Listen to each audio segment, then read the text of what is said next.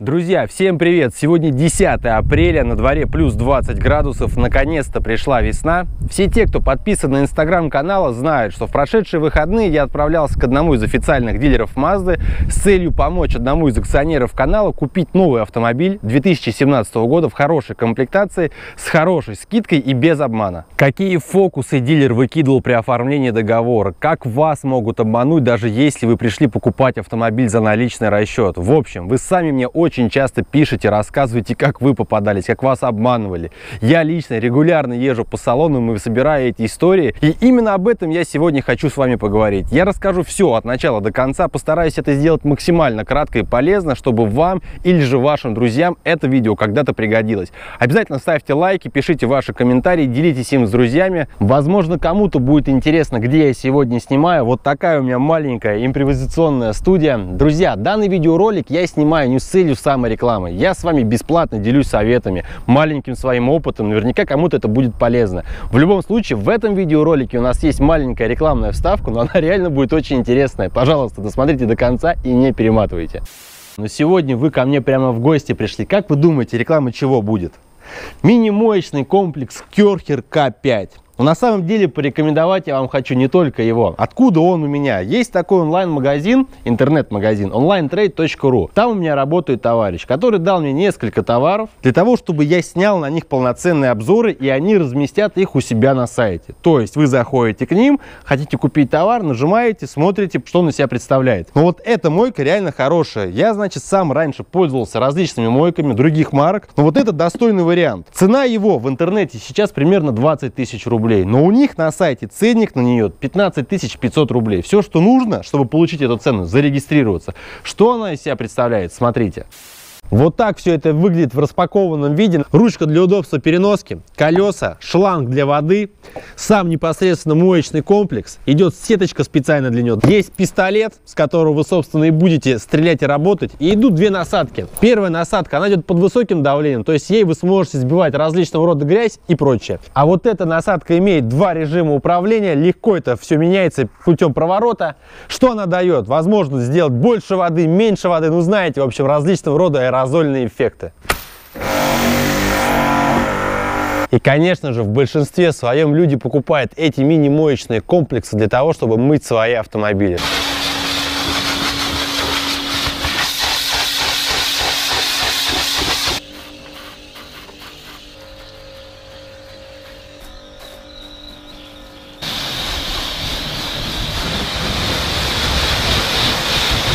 Все, у кого есть свой дом, дача, либо гараж, знают, что подобного рода вещи помогают в быту жить проще. В любом случае, активную ссылку оставляю в описании. Это огромный интернет-магазин. Переходите, знакомьтесь, там очень много товаров. Наверняка вам что-то понравится. Как выяснилось, постоянным покупателем на этом сайте является мой отец. Когда я ему сказал то, что onlinetrade.ru, он говорит, о, а я их знаю. Поэтому, друзья, смело могу их рекомендовать. С чего начинается покупка нового автомобиля? Ну, конечно же, в первую очередь это либо звонок официальному дилеру, либо поездка к нему в салон. Так вот, смотрите, ранее я снимал видеоролик о том, как купить автомобиль со скидкой, прям последовательно, очень долго рассказывал, примерно минут 30. Я ссылку на этот ролик оставлю в описании, но он был снят три года назад, поэтому многое изменилось. И вот я вам сейчас хочу кратенько все напомнить. Когда я хочу купить новый автомобиль или кому-то его ищу, я делаю простые незамысловатые вещи. Но в первую очередь есть мы с вами знаем, чего мы хотим. Цвет автомобиля. Мы знаем наши условия покупки. Это может быть только наличный расчет. Это может быть наличка плюс кредит. Это может быть наличка с трейдином. Либо трейдин, наличка, кредит, все вместе. Прям, знаешь, такое некое комбо, что для менеджера по продажам всегда будет, знаешь, таким бонусом и бинго. Потому что чем больше вот этот список условий покупки, тем больше могут быть масштабы обмана со стороны официального дилера. И вот давайте я присяду поудобнее, так вот по-простому, по-житейски и все вам подробно расскажу расскажу, как было с нами. Вы можете моделировать данную ситуацию на себе. Смотрите, человек обращается ко мне и говорит, у меня есть миллион рублей, остальную сумму я готов взять в кредит. Я хочу найти себе автомобиль Mazda 6 2017 года в комплектации Executive. Если вы зайдете на официальный сайт, такая машина стоит 1 миллион 911 тысяч рублей. Естественно, все хотят купить автомобиль со скидкой, и самое главное, чтобы все было честно. Когда речь идет о кредите, вы прекрасно знаете то, что подводных камней вот столько. Так в итоге я обзваниваю каждого официального дилера и обозначаю условия. Есть миллион, остальную сумму мы возьмем в кредит, возможно, сделаем каско, но 100% не будем делать никакие страхования жизни и прочие ненужные нам услуги. И вот вылетает предложение от одного дилера, которое мы, собственно, и хотели услышать, а именно 1 миллион 700 тысяч рублей цена за автомобиль, таким образом 211 тысяч скидка, Плюс мы делаем кредит честный, без дополнительного страхования. Если нас цена показка устроит, мы сделаем. Не устроит, будем искать на стороне. После чего я представляюсь менеджеру по продажам, говорю, ребята, так и так уж сложилось, я веду канал на YouTube, этот парень акционер моего канала, поэтому кинуть его не получится. Мы приедем, имейте в виду, камера будет с собой, поэтому все должно быть честно. Именно так, как вы назвали по телефону. С менеджером по продажам мы посмеялись, мол, а как может быть иначе, приезжайте. И вот мы назначаем день встречи, отправляем отправляемся с человеком в автосалон. Нас отправляют в первую очередь к кредитному специалисту, потому что именно с кредита начинается вся покупка. И он нам сейчас как бы предложит наиболее выгодные условия. И вот в процессе общения с кредитным специалистом всплывает, что страховка жизни СЖ заложена 70 тысяч рублей. Я говорю, ну, ребят, ну как так? Мы же общались, а, я не знал, это же менеджер, я вот другой отдел. В итоге 70 тысяч рублей, вот она, пожалуйста, лежит на поверхности. Вроде бы пока она нигде не прописана, она уже потенциально должна была быть на его его плечах. И в процессе общения с менеджером по продажам у нее был свой листочек, то есть она ведет нас как клиентов, и там тоже было заложено страховка жизни 70 тысяч примерно. Она при мне потом ее вычеркивала. Параллельно всему этому мы подаем заявку на кредит. Вот если вы думаете, что придя в автосалон, напротив вас сидит менеджер кредитного отдела, и он на вашей стороне и думает, блин, в какой же банк подать заявку, чтобы для вас были максимально выгодные условия, то вы ошибаетесь. Конечно же, в первую очередь присутствует человеческий фактор. Если вы нарветесь на нормального человека, который разбирается в банках, будет понимать, куда лучше вам подать заявку в вашей ситуации, это будет так. Но в нашем случае, например, было так, что мы подали в ряд банков-партнеров и все. Мы получили предложение суммарно за три года. Сумма переплаты составляла 205 тысяч рублей. После чего наш товарищ говорит, смотрите, у меня есть карта зарплатная в определенном банке, может попробуем подать туда? Ну давайте попробуем подать туда. Подаем туда и выясняется, что экономия тут же вот на ровном месте составляет 10 тысяч рублей. То есть сумма переплаты 195 тысяч рублей. Подчеркиваю, на ровном месте вы экономите 10 тысяч рублей за одну минуту. Таким образом, вы должны понимать, если вы хотите найти самое выгодное выгодное предложение по кредиту, то нужно подавать заявки в максимальное количество банков, просматривать каждый непосредственный ответ и расчет. Тогда вы сможете сказать, вот из 10 банков самый выгодный кредит для меня именно в этом банке. После мы переходим к обсуждению цен по каско. Изначально по телефону человек созванивался, обозначил все свои параметры, данные. Ему цену обозначили 72 тысячи рублей на него плюс на его жену. Это полная каска без франшизы, угон тотал и возможные повреждения. Когда мы сели за стол, выяснилось то, что цена почему-то изменилась и стала 82 тысячи рублей. Опять же, за одну минуту ценничек подрос на 10 тысяч рублей. Когда мы задаем вопрос, а почему, откуда такая цена? Вы вроде уже было 72 тысячи. А вот, извините, извините, а есть у вас эта переписка? А нет, а все разговоры были только по телефону. То есть показать ему и сказать, смотри, 72 тысячи ты писал, мы не можем. После чего мы начинаем обсуждать условия кредитного договора. Нам сотрудник предложил 850 тысяч наличкой и 850 тысяч мы берем в кредит. И вот суммы кредитных средств мы должны заплатить 1% в качестве взноса, сбора, не пойми чего. Я спрашиваю, подождите, 1% вам, салону? Да. За что? Ну, это вот не ко мне, это к менеджеру. Подходим к менеджеру, говорим, а за что мы должны заплатить 1%. Сумма 8500 рублей. Вроде бы небольшая, да, с учетом того, что мы покупаем автомобиль за 1 миллион 700 тысяч рублей. А, ну 1%, да, это есть, от него никак нельзя отказаться, это вам в кредитный отдел. Подходим в кредитный отдел, и точно начинается этот футбол туда-сюда. После этого я делаю претензии, говорю, ребят, подождите, вы вообще какое отношение к этому имеете? Человек берет кредит, он будет за него платить. Условия банка это сделать каска на автомобиль, он тоже это делает. Какой 1%? В итоге мы решали эту ситуацию так, что мы оплатим этот 1%, потому что, как они заявили, от него отказаться никак нельзя. Но вместо этого мы получаем несколько допов, которые чуть больше цены этой, нам в подарок.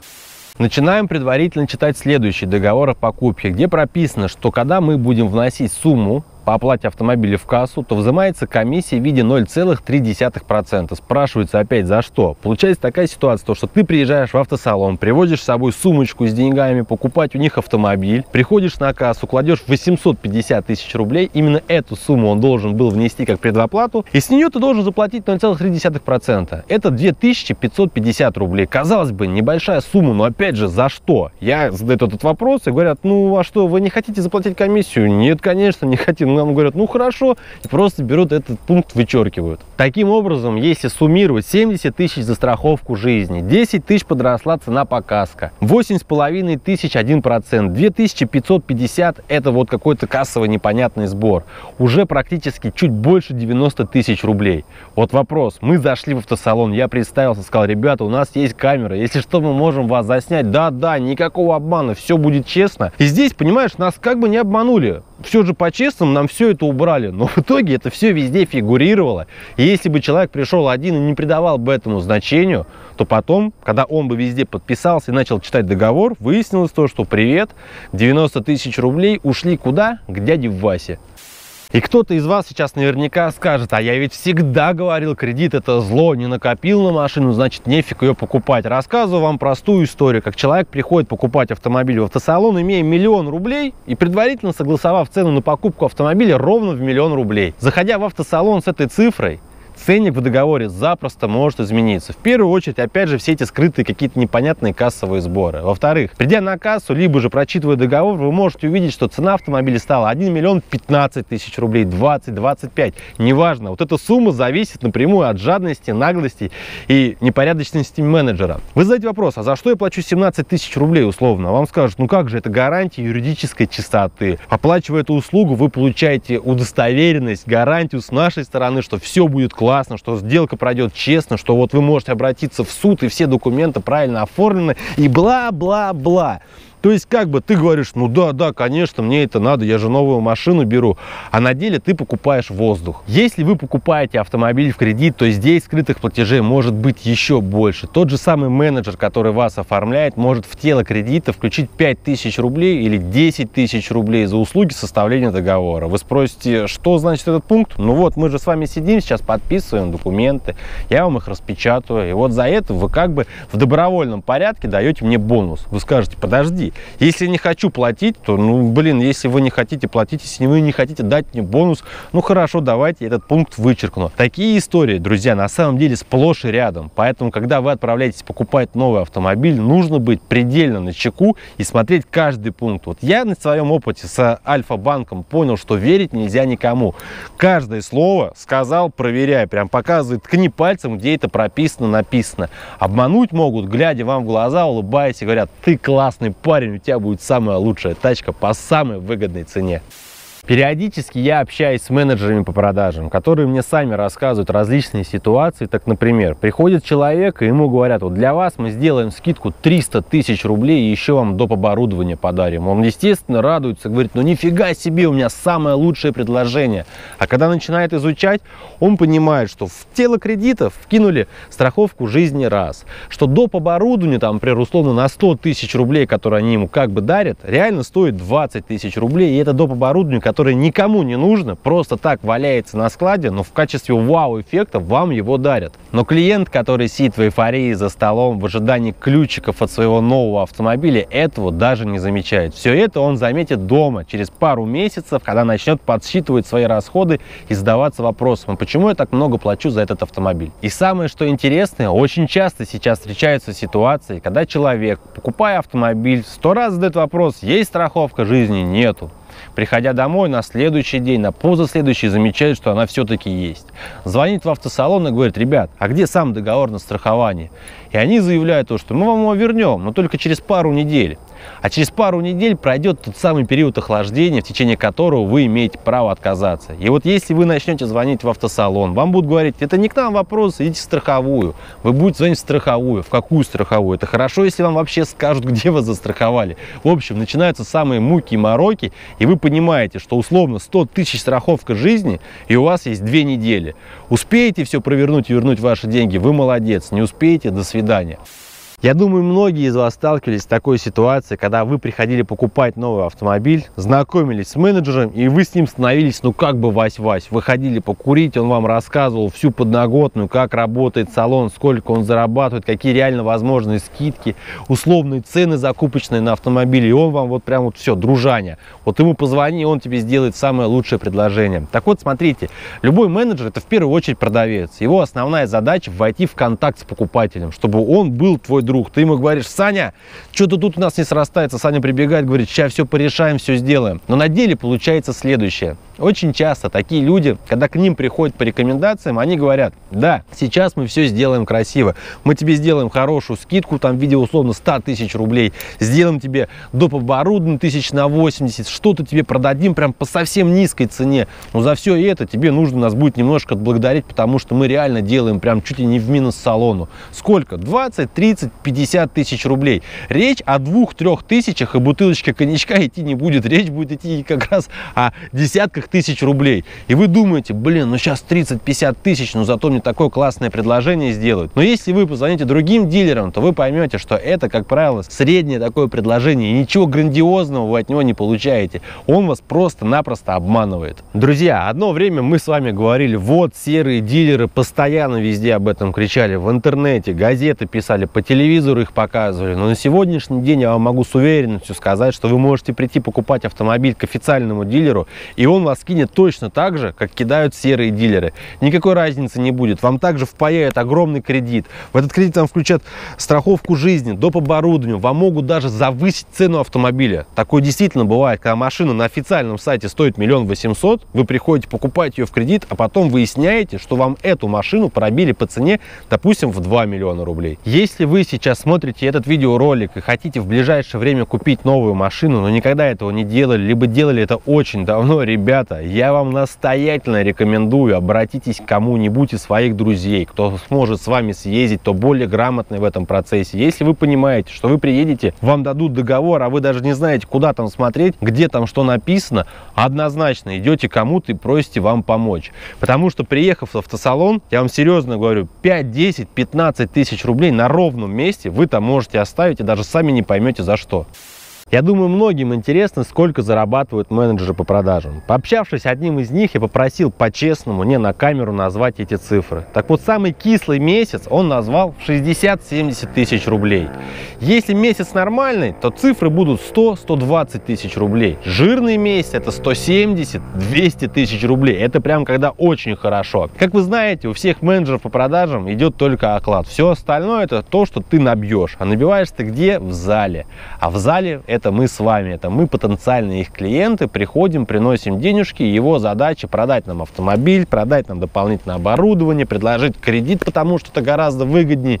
В общем, тут вы уже все прекрасно знаете. Друзья, у меня на этом все. Обязательно подписывайтесь на инстаграм-канал, обязательно подписывайтесь на сам канал, ставьте лайки, ставьте дизлайки, высказывайте ваше мнение. Если с вами произошла какая-то жесткая ситуация, обязательно пишите ее мне. Если вы хотите, чтобы я вам как-то помог, осветил ее, также можете писать, но обязательно знайте, что все документации должны быть. Я как минимум приглашу вас в кадр, чтобы не получилось так, что меня вот там кинули, ты расскажи на камеру. Я рассказываю, потом выясняется то, что ты чего-то не так понял, а виноват остаюсь я. Поэтому всем до новых встреч, пока-пока.